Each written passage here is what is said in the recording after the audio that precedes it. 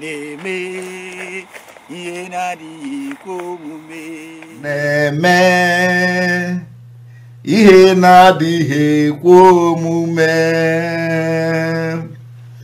Ọ na-eme ihe na-adịghị ekwe omume. Ọ na-eme ihe na-adịghị ekwe omume. Ihe na-adịghị ekwe omume.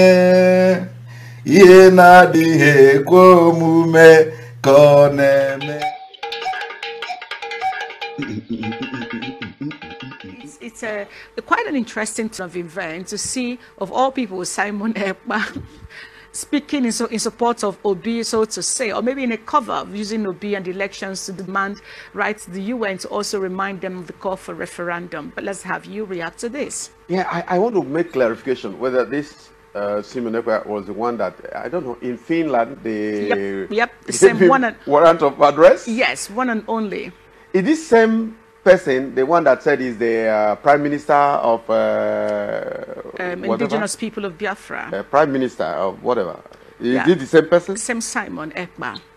Okay, and this is the same side. Also, he is wearing a lot of togas, man. He is wearing a lot Yeah. of toga, toga one, toga two, toga three. Yeah. So in this case He now, also said there will be no election in Biafra land and also uh, mocked Obi that no, they didn't vote for him and all of that. So we're So- wondering why, Who is so, this Simon Fine, Ekpa? fine.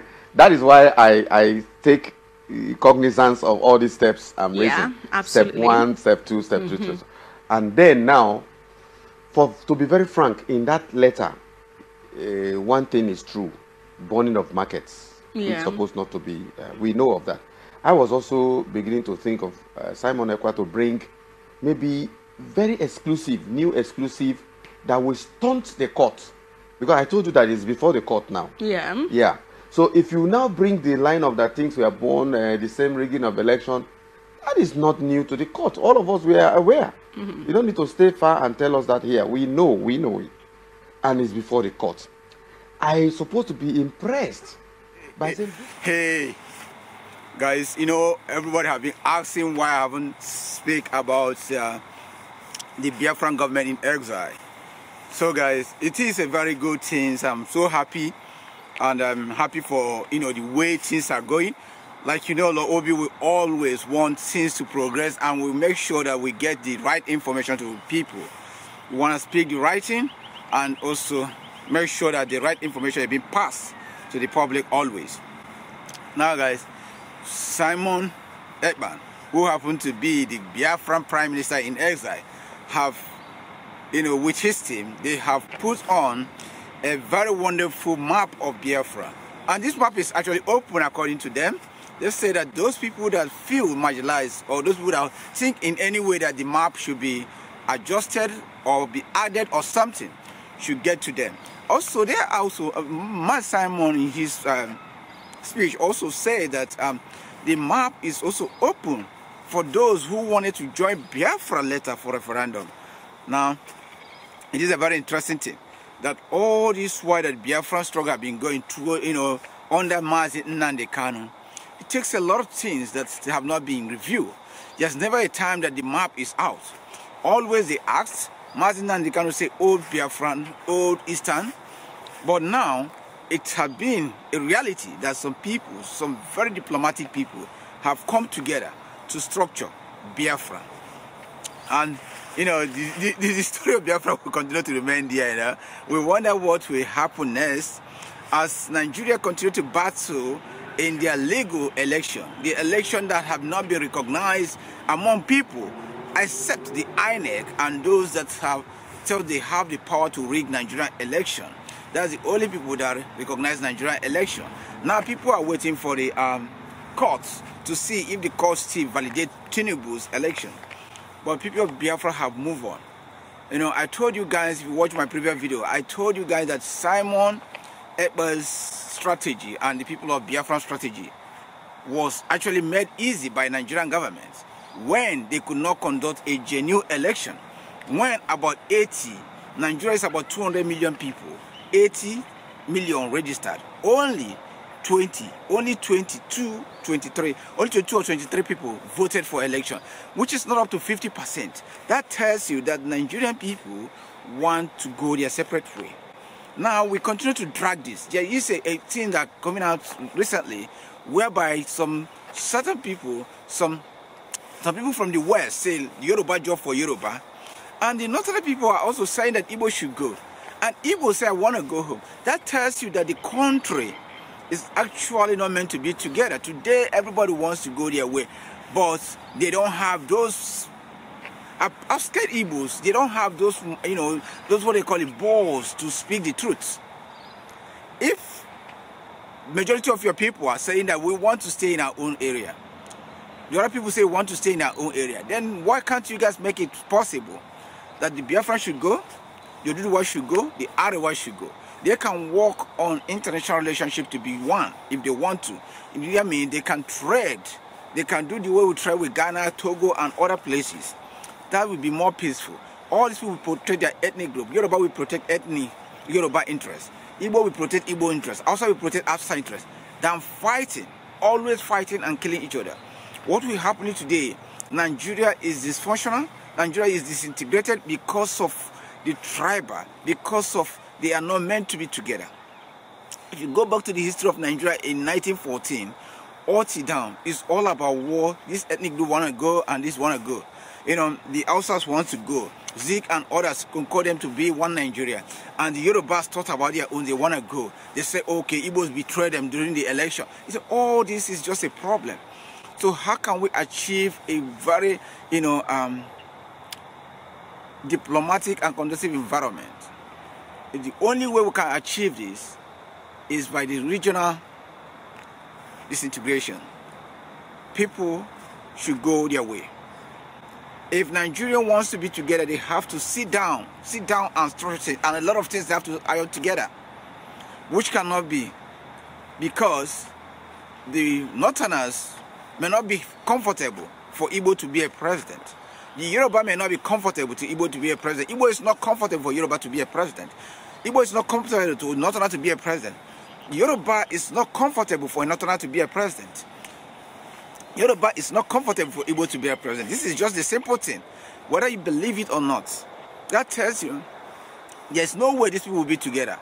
And it only takes time. When you keep pushing people to the wall, one day they will get there. One day, Igbos will get there. And when Igbos get there, revenge is very dangerous. And then the people will be wanting to, you know, disintegrate, and there will not be way for you. It will be more bloodshed because payback is very dangerous if you want to go there, then Igbos will say, it is our time to pay back what you guys have done all these years. So we don't want that to be. I'm somebody who love peace. I'm somebody who don't want people to lose their life for the sake of things that will be fixed.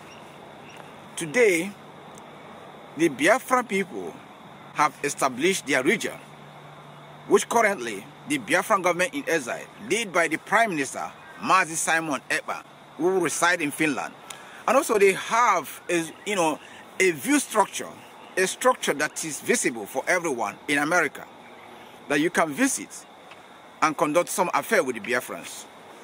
Now the Biafrans are also extending to other countries. Do you know that among Nigeria there's no other ethnic group that have representative in every country like Biafrans? With such opportunity, Biafrans today are telling the world that we want to leave Nigeria.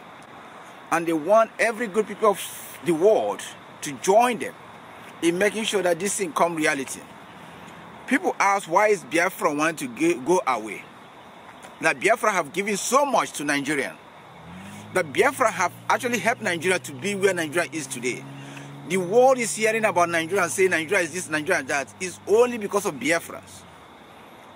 Biafrans today have been the one that developed most of the areas in Nigeria. You ask yourself, how many Yorubas owns a state in Igbo land. How many Hausas have a state in Igbo land? But you cannot tell me that I cannot be able to count how many Igbos have a state in Yoruba land. How many Igbos have estate in Hausa land. That tells you who is really Nigeria. The Igbos really want Nigeria to work. Igbos can come to your area. They will develop it no matter the amount that you put on your price, you tag on your land price. Igbos are ready to buy it to make sure that they help you to develop it. Igbos are the one that will come to your area. They will bring business in. They will bring a lot of things in to make your area, you know, viable for everybody to enjoy. But at the end of the day, they become a victim. Those people will begin to tag them dominant. They begin to steal from them. They begin to burn their things. They begin to create a lot of all scenarios in order to extort from the Igbos. Then you ask yourself, you that think that one Nigeria is in existence, how many of your tribe owns a property in Igbo land? How many of your tribe owns any investment in Igbo land? Who is more one Nigeria? If you believe in one Nigeria, what is stopping Yoruba Hausa to invest in Igbo land? You can't tell me that Igbo property is very expensive. You have, actually, Yoruba have more the top three, top three richest men in Africa. Yorubas have that. It's not Igbos. Hausas have the top one, the most richest black man in the world. He can buy any property in Igbo land, no matter what price you tag on it. Do you know that the current president you call Bola Tinubu has not, I always call about the United Nations and EU, UK and America. It's not when we have bloodshed. Why can't we prevent this thing before it escalates? We can do better by calling these people together and say what you guys want. If they don't want to be together, and let them go so that we make sure that people are with them. Let we conduct referendum so that their people can vote if they want to stay in Nigeria or go. If their people vote to leave, then why are we staying together? We can't continue to oppress the Biafran because of we want to steal oil from them. We want to steal diamond from them. We want to steal a lot of things from them. It's time for Biafran people to go. The Biafran government in exile, led by Mazi Simon Ekpa, is not going to stop. Daily he traveled around the world trying to communicate and tell the world why Biafra need to leave. Before the Nigeria election, he actually made it clear and said that this is a corrupt. Mazi Nnamdi Kanu actually said the same thing. It's a corrupt. Mazi Nnamdi Kanu tell you that how can you tell that your election or your vote counts? That is the INEC that votes and pick whoever it is and say you be our president. Not people vote that count. Mazi Simon never told you again that it's a full of corrupt people. It's criminals. It's not working. So guys, we must have to do this. Biafran have to go. And we give credit to Mazi Simon Ekpa for what he's doing and his team. As we see the map again, we have seen a lot of good map. And we appreciate those people from the Biafran. Today, a lot of good friendship have been forming by those people from Ijo, all south, south, and southeast. They have been one now. And it's good for the consultation continue to go on and for them to be a good people.